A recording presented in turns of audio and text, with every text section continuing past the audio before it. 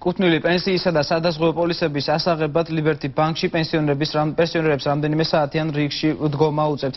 ისინი ბანკის ფილიალებში არსებულ არაორგანიზებულობაზე საუბრობენ.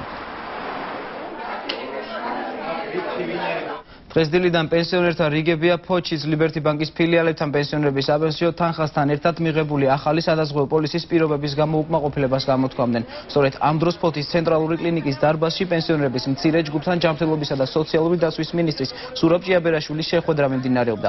მინისტრმა პენსიონერებთან ახალი სადაზღვევო ახალ სადაზღვევო პოლისებზე ისაუბრა. პოლუსი მქონდა, დახმარება მქონდა, მაგრამ რო გადავედი თურქეთში გადმოვედი ერთი დღით იქ მომიხსენ შე დადიხარ თურქეთში და მუშაობ არასდროს არ მქონია მე პოლის ვარ მეორე ჯგუფის ინვალიდი ტოლილი ვარ სოხუმიდან. მოდი აქ ცხოვრობ ახლა. პოლისი არ მაქვს 120 მაინც მაქვს ეს რა ქვია პენსია. წამას არ ყოფნის წამას არ ყოფნის